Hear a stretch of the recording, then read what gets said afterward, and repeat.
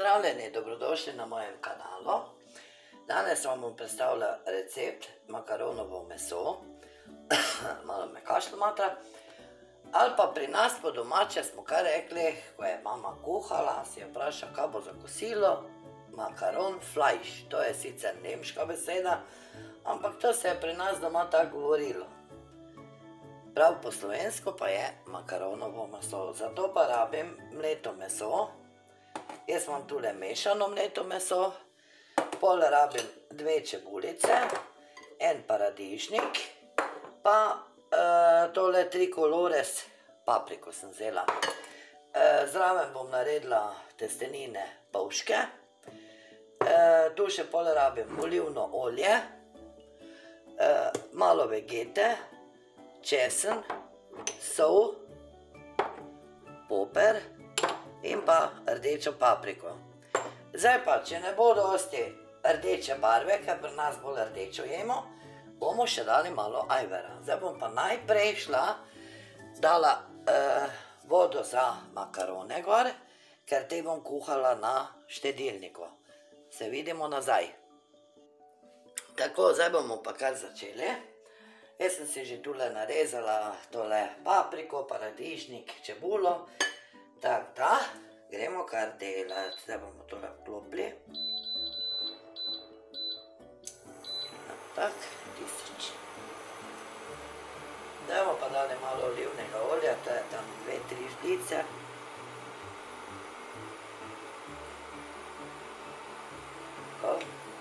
Če bo treba, še bomo dali malo več. Zdaj tu smo pusli. Takle, zdaj bomo pa dali čebulo gor.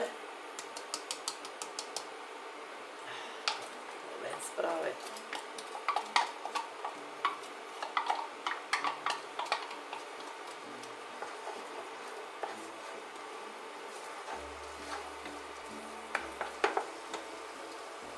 Kaj z roki, vse so čiste.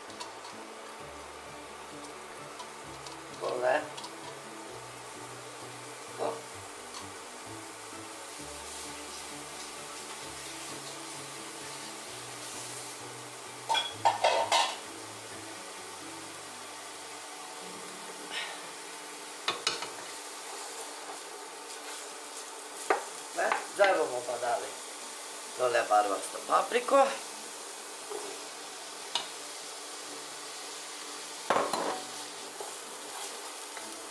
Še bomo dali malo olja. Uh, to smo pa celi kost odprgli. Tako pa če to tega niste videla, ala, no ti, da pa že zaprkava. Kar takle naredili lepo, hitro. Evo, zrihtano. Ko?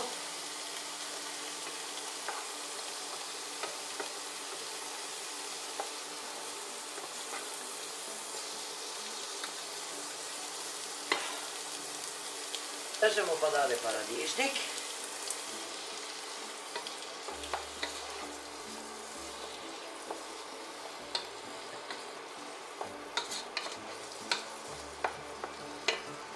Ne? Zdaj bomo pa dali začimbe. Treba je spet jezdi malo na mene, ker jaz spet s to vegeto delam, pa imamo radi. Začinite po svoji želji, po svojem okusu, koliko kjeri rabi. Tak, malo bom dala soli.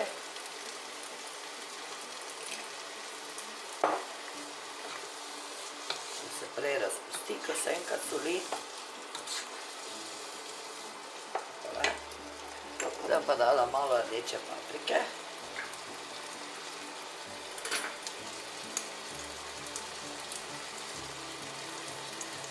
Rdičko pa to.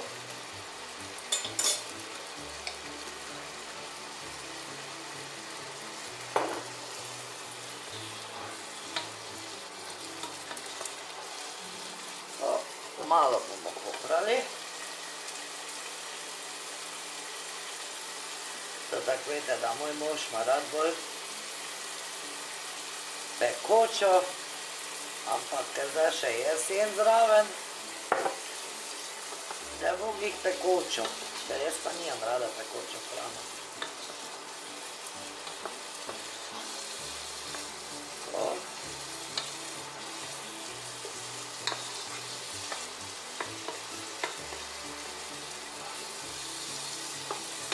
Zdaj bomo pa dali tole meso.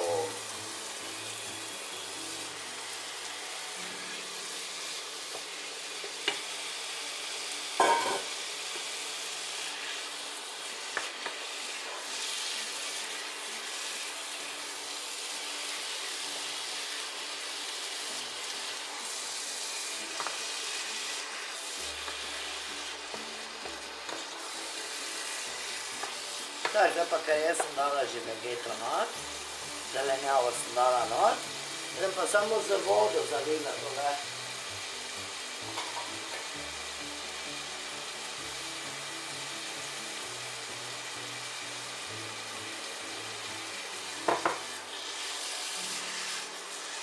Malo bo z vodo zalila, pa pol pokrila dol, pa se bo tole počasi instalo meso.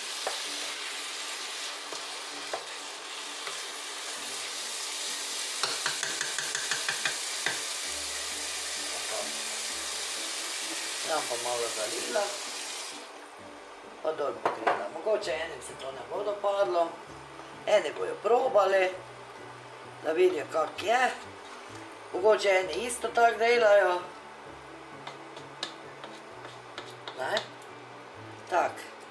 Zdaj pa jaz tole dol pokrila, pa pustila, da se bo počasi tole jesti.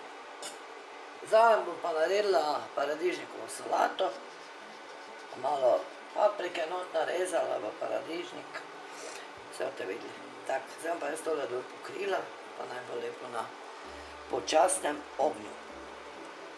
Malo bomo zmanjšali, da se ne bo prijelo, pa je to to. Se vidimo.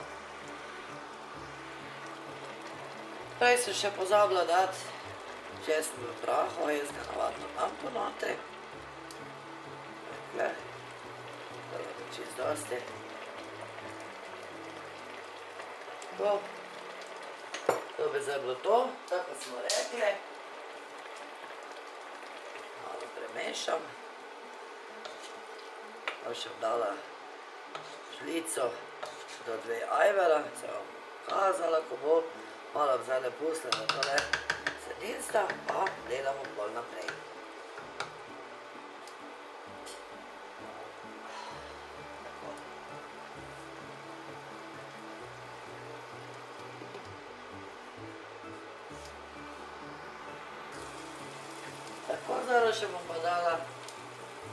Žlico ajvara, dve, takle.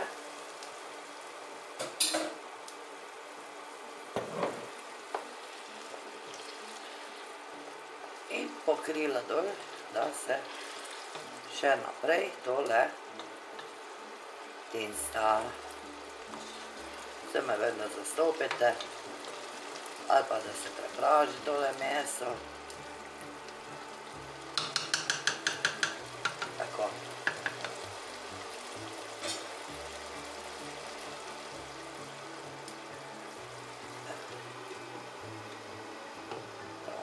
Pokrili.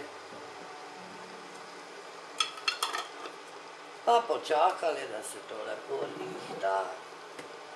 Zdaj bomo pa paradajz narezala za solato, pa malo paprike, pa čebule. Pa ko mož prije domov, naredimo do kraja, da se najema. Tako, dragi moji, paradižnikovo meso. Eh, Makaronovo meso je gotovo. Paradižnikovo meso. Zato, zato, ko sem prej paradižnik za solato rezala, zdaj me je pač izmešala. Tak, jaz si bom tule nadevala, solato si bom pol posebej naredila, ker moža še ni doma. Tako da bo on malo bolj pozno jedel. Mislim, da je gužva na meji. Prejšnjikrat je bilo kar preci gužve, je čakal skoraj dve uri v koloni. Tako da mislim, da danes je tudi tak, takle. To bi zdaj bilo Vse za enkrat. Nekaj še lahko gor potrosimo malo za dekoracijo, ker nimam petežilček letos, mi ni nič ven prišel. Korenček je sjal trikrat, tako da res je, letošnjo leto je Bogu. Tako. Jaz vas vse lepo pozdravljam, se vam zahvaljujem za obisk mojega kanala, zdaj boste imeli kar nekaj receptov gor. Tako da, oglasite se kaj na mojem kanalu, pa malo prečekirajte, pa pogledajte nove recepte, pa bi to bilo to. Hvala lepa, želim vam vse dobro, pa kakšen lajkic stisnite. Hvala lepa, adijo.